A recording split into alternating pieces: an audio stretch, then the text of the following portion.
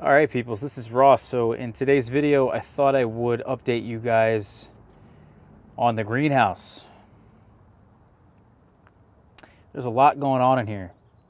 Uh, between the figs, they are now leafing out, the potted trees, but you know, also uh, in-ground trees. This is a two-in-one caprifig that I've grafted onto uh, the same rootstock and actually it has a lot of Breba on it. So we'll talk about even just colonizing the Blastophaga. We're gonna actually mention some of the in-ground cordon figs in here actually are also awake. Uh, we'll talk about the seedlings that you guys see, whether that's the tomatoes here. Many, many varieties of tomatoes this year. It's kind of insane. Um, also the melons that we're going to look at. Uh, we have microgreens actually back there. And even to my left, we have more tomato seeds I just started. Very sad brassicas. And then also some uh, peas for shoots, kind of like uh, for microgreens in a sense that I'm using uh, for salads and just also to snack because what's nice about these guys is that they taste just like peas. They're very sweet and you can just break off the tip or even come in here with a knife. I made myself a couple cuts here and have myself a salad. Add a little bit of dressing. These are very tender, very crisp. They're very good. Very sweet. I would argue underrated crop as just like something extra to grow and it doesn't take very long. Very nutritious as well. Um, let's talk about the figs though before we get into the garden. So the figs, have, as I said, they're they're leafing out and there's a lot less of them in here this year. Usually in this greenhouse, guys, is so many fig trees that uh, you can't walk. And I have them stacked multiple high, but normally they could be even four or five pots high. And the reason that uh, what happens is when, when you do something like that is the higher uh, we are up in the in the air of the greenhouse, obviously, there's more heat, right? Heat rises. So if we have four or five pots stacked, usually the greenhouse floor and the couple levels of pots down below, they stay quite cold and they don't wake up. It takes them a while. I have to move like half of the trees out of here for the other trees to, to actually wake up. I do have the space heater on the floor, which is nice because it, it is sort of blowing air towards this area here, although um, definitely you can, you can see a big difference between just having simply less trees in here, less pots, and how they're able to wake up how I'm able to manage them. Uh, everything's a lot easier to water. Uh, I actually put down some slow release fertilizer on these trees and they've just been going. They've been going like crazy. Some of them are really quite green. Really beautiful new growth um, and have a lot of new growth to them. A lot of these branches that you might see actually have like four or five leaves at this point, which is awesome. You know, uh, that's kind of what this whole greenhouse is for, is to really get these guys off and give them a head start. Um, something that we've really been focusing on is obviously the fact that there's less trees in here. Not only have I been able to water them easily, feed them easier, but also there's a lot less density and therefore uh, the branching I've been very, very selective about really thinning out all these branches to make sure that they've all given, I've given them enough space to grow and get the right amount of light penetration. Without that light penetration, they don't form fruits. So if we had a lot of branches in here, a lot of green, it would just be too dense and that light that's coming in right now, a lot of the growth is actually, or would be, shaded out. In fact, some of it already is kind of shaded out. Just because there's just a limited amount of light in here. You know, it is what it is. But in order for me to actually form these fruits, and I know these are Breba here, so these will form just on last year's growth, but to get the new main crop, you have to have as the as the growth is growing, as it's growing, you have to have enough light that's actually hitting that branch. If you don't, as I said, the fruit buds just will not form. So it was really critical for me this year to really focus on first pruning the trees in the fall properly so that we could get good light penetration for the following season. Now that we're in this current season, I've actually been staking branches so that they have more light, especially bending them horizontally or bending them, uh, particularly these scaffolds. If you can think of these two trunks as, a, as two different scaffolds here, definitely bending them more on a like a 45 degree angle, definitely away from each other, giving them that maximum amount of light. And this is another really good example. There's a Smith tree back there, and you can see I have made sure that those three branches are now bent away from each other, giving them uh, the right amount of light.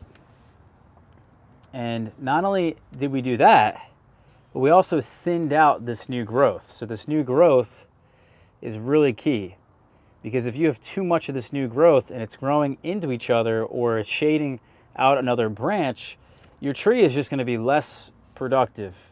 So it's really key for production purposes to get the fruit set that you want to actually be able to do this. And it's really a technique called thinning that really helps that we do every single year but it's a lot more than that. We've talked in the fall, if you want to go back and see how we prune these trees, because for some of you, it's not late, it's not too late to prune your trees.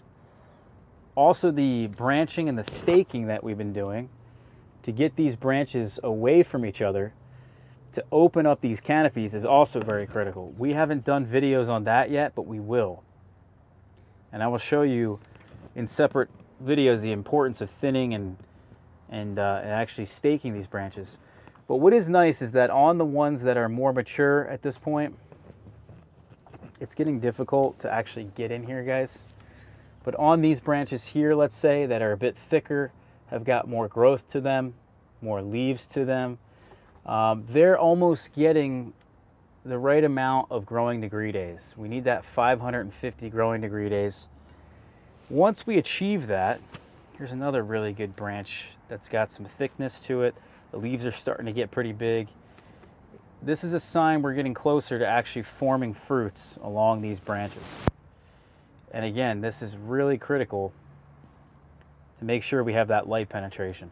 We also need the heat because we need 550 growing degree days. Once we achieve that 550, we'll start to see these fruits form and it, it really shouldn't be much longer. I have not pumped up the heat in here. I've actually been keeping it on the cooler side at night.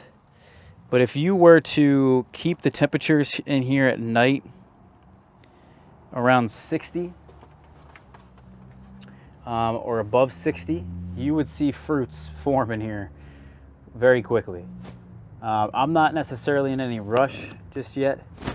Getting them as early as possible is nice, but if they form now, some of these varieties actually are to fruit uh, in June, and I don't mind waiting until July. So I know the Campaniere in the corner has got some really nice growth to it, and uh, it's probably going to form fruits any day now. So that one will probably fruit in June, but uh, usually, typically, I see fruits come out of here um, in July, by July 1st. So I'm not really in any rush just yet to, to make anything happen, even to do any pinching. We're just gonna let this naturally happen. Keep them a bit uh, cooler during the day. I'm gonna keep things in here around 85 during the day. At night, if you can keep it above 60, that's great, but my heater is not actually set to go on at night. And I'd rather have things a bit in here, a bit more on the humid side than on the drier side. So that's what we've been doing is that things are just going really well. It's a slower process this year but everything's very happy and healthy. And if we were to blast this heat a little bit too soon, we would get the fruits to form at an earlier date, which is nice, but we'd actually sort of stop the growth on those trees. Those the, the those trees would stop growing, and we'd probably just have an overall less production for that year. So there's a trade-off. You want to blast the heater, you'll get earlier fruits. They'll probably taste better at that earlier date as well for most of us. But if you do that, you're going to actually encourage your tree to fruit and therefore have less energy towards growth. And overall, you're going to have lower production for that season. So I'm kind of taking a middle ground here, doing this a little bit slower than we normally do. I've been having learned my lesson over years now, and that's the key. Now, as I've pointed out before, is that actually some of the in-ground cordons around the edges of the greenhouse are actually awake. And you can see right down in there in the middle of the screen is actually a one of the uh, spurs from the cordon back there. That's actually a panache tree in the back. And he goes all the way across that wall. I'm really having trouble here with my camera. Excuse me, guys. But against this back wall, and we're gonna make sure we go over these cordons as we go, but here's actually a Colonel Lippmann's that is leafing out. It's a little bit further behind the Panache, but it is leafing out. We will space in here one fruiting branch every square foot. So we'll have one on the end and then a foot across is another fruiting branch, another foot, another foot, until we have about, I think it's, this is a six by eight greenhouse. So we're not gonna have too many fruiting branches, but they are gonna be productive and they are gonna probably go all the way up by the end of the season to maybe even the ceiling. So that's what you want. You wanna have productive branches, even if they're a bit longer, we got to give them that right light penetration. And by spacing them a foot is what we want to do. Here, this Caprifig has really impressed me. Um, I counted, I think, 17 Breva just on the one tree, just on the one variety. The one variety here is called Bogo Malovo. And we're going to talk more about this as time goes on, I'm sure. Because this variety is extremely hardy and uh, it has been able to colonize the wasp in very cold places, this caprifig. So I believe, I don't remember exactly, but I think this tree is itself very hardy, but the wasp itself is only hardy to, I think, about 12 or 14 degrees Fahrenheit. Um, I think 12 is like 90% kill so if you have, an, you have a tree you, or you live in an area that stays above 12 degrees Fahrenheit and you get this particular variety, you should potentially be able to colonize the blastophaga anywhere that it stays above 12 degrees Fahrenheit. And that's the minimum temperature for the wasp. And there's actually a Hungarian study that was done um, that I've talked about in the past. Now, what else is very impressive about this variety is that it produces three crops of Caprifigs pretty reliably. Now you want to have multiple varieties, which is why I have a second here. And actually there is some Brevas forming here, but they're a bit further behind. Not every Caprifig is going to produce three crops, you know, regularly. Uh, you may only get one or you may only get two. So to actually colonize the fig wasp, you have to have a consecutive three crops. One which is the Breva here that you can see, or this is technically the Profichi if it had wasps in it. And then you would get the second crop, which is technically the main crop, which is going to form on this new growth. Then you would get a second main crop, which is where the Caprifigs or the uh, the blastophaga, excuse me, actually overwinters in those figs is a second main crop and then actually gets released into this Profichi sometime in the spring. I would imagine somewhere around now, actually. So it's a pretty impressive variety, I have to say. Uh, I have no doubts, but I'm leaving this property um, very soon in the next 10 months or so. Um, I'm not sure if I'm going to bother, as I had planned, to actually colonize the fig wasp. Because I'm going to dig this tree up and take it with me um, and put it in a greenhouse somewhere in the future uh, on this new property. So um, unfortunate because we have really some consistency, it looks like, starting, which is nice. I could get my friends to send me some Profichi, not now, but let's say in May. Um, they could start getting Profichi, let's say in California, and then I could give that Profichi to this tree when it forms its next set of uh, crop. Even maybe even these these brevas here could get pollinated. And that would, of course, hopefully, fingers crossed everything goes right, that would start the process of colonization. So uh, pretty darn cool, I have to say. I think it's very possible, although we are going to have to wait again um, to get this whole thing really going officially, but pretty awesome that this small tree, really small tree, has 17 Breva on it. And I, I don't see any reason why um, this particular caprifig wouldn't be something that's really recommended to a lot of people in the future. Um, a lot of people in Europe, I have a couple friends that really swear by this one and it's been used over there with great success. So I actually have a few cuttings that I'm propagating that I took off of the tree and uh, I've tried to share it actually with a few people. Uh, so we'll see if we can spread this variety around in the future um, more than we already have. Um, pretty impressive, I have to say. Uh, so that's that's roughly it there, guys, for the figs. Um, the seedlings in here really have not been that spectacular. We have transplanted out a lot, so I'm not too worried about the spring garden all that much other than the fennel. The fennel here has to go in and it doesn't look too great. We've talked about on Fruit Talk why that is. These cells we're just not getting a whole lot of water, but they are starting to grow and putting out their true leaves. I will transplant this out soon hopefully by the 15th of April. We also have these peas here that I need to transplant out into the garden because my other peas just didn't do well. They're not getting enough water. It's, it's apparent.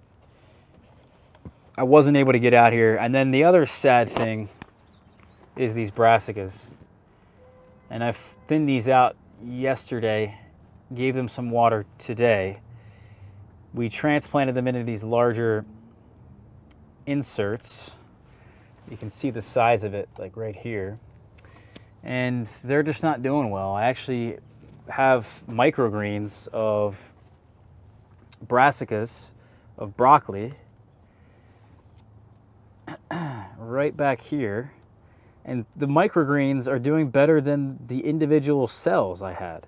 And a lot of that is just because they're getting enough water. Behind it is onions, and those onions will be transplanted out into the community garden hopefully around the 15th of April as well. Um, very heavy feeders, those guys. Now, what is, I guess, going well in here are these peas. Given enough soil and water, they're doing well. They work well, I think, as a microgreen crop for salads. The tomatoes, obviously, are pretty darn easy to start. These are some new varieties I started yesterday that we sort of just picked up. Uh, Goose Creek seemed very interesting, and so did Tex Wine. I don't know why the camera just did that. Striped Roman, I'm interested in in uh, in trying that one as a paste tomato. Also behind me are tomato uh, seeds we started. Um, I don't know how many days it's been. But these are the this is the first batch here. So many varieties. We've talked about these varieties but we added actually about 15 or 20 more since we've talked about some of these varieties. Uh, really excited to see what these guys can do. They're going to also go out in the garden around April 15th under low tunnels. So we get to plant them like 15 days earlier than normal. With the low tunnel head start, they are going to take off. Here we also have the Principe and the Piennolo. these are the two tomatoes that I've decided to plant at the community garden, which I've started multiples of. Um, we're planting them in a row. We're growing them Florida weave style. These are the most versatile tomatoes I have. and multi-purpose. I guess you could say that's kind of the same thing, but they're great for drying. They hang well to extend the season, and they make a good sauce. So uh, I want to get as many of these, how durable they are, put them over at the community garden, where I'm just not going to be all that much, and just enjoy, um, you know, having those tomatoes there that are less, you know, more carefree, less problems, and I'll be able to harvest so many tomatoes off of those with, uh, you know, less problems. I don't have to keep an eye on them. So those are more versatile, obviously. Uh, these tomatoes here will be grown under tunnels vertically. We have the peppers and the eggplants are coming up as well, but a bit slower than the tomatoes. And I think it just hasn't been warm enough in here. Um, I really should probably turn up the uh, temperatures because it it was a bit dreary and cold the last few days. The really nice thing to see out of all the seedlings is these melons. They just look beautiful. They've all come up so well. Here's some beans I started. We got some soil at um, municipal compost and I wanted to test it because beans seem to struggle with uh, a pesticide that could be in the municipal compost. So I figured I'd test it to see what the deal is before I plant my beans. Um, and they seem to be doing all right. So I think we're okay. There's no, uh, there's no pesticide in it that a lot of people seem to be struggling with. The, uh, the melons, as I said, look great. And what's going to happen is that I've got multiples of them. So I have three per insert. So one of them will be uh, to plant in the garden under the tunnels about 15 days from now. One is a backup, and then the last one, the third one, will be grafted onto squash rootstock. And I actually have the squash rootstock coming up over there. It's just now coming up. And I think actually we might do it. We might be at the right timing. I did this as a trial run to start and it didn't work out because I started this the rootstock and the melons on the same day. So I learned that I have to start the, the melons a week before the rootstock. If the timing lines up right and the width of all of these plants is right, I will do my grafting hopefully rather successfully and we will heal them over for about seven days in that chamber over there. Keep the humidity high, as high as possible. And then hopefully we get ourselves some grafted melons and grafted cucumbers. The problem, I guess, would be is if we fail, well, then I have a backup, right? Because I have one that's going to be going in the garden, and then I have an extra, even an extra melon plant as a backup. So we're doing well. Um, they've all come up, I think, except for one variety there. Delicious 51, I believe, is the variety. So I'll have to plant more seeds of that. Not sure. But these melons are doing good. I'm really happy with their progress. Along with these figs, the tomatoes look pretty good. Some of these tomatoes still have yet to come up, but you know, some of them take time. So that's the beauty of having different genetics. They're all to germinate at different rates. And uh, yeah, it's pretty cool. So that was the greenhouse update here, guys. I hope everybody enjoyed this one. There is, like I said, so much going on in here. Um, hopefully we will uh, keep you guys updated on this and the figs will be popping anytime soon and uh, we'll show you guys the updates on that. And as I talked about, the thinning and also the uh, the staking and whatnot. And hopefully, I'll get to show you guys more fruits rather than just these male fruits that will never actually ripen and be edible. So, all right, guys, this was Ross. Take care.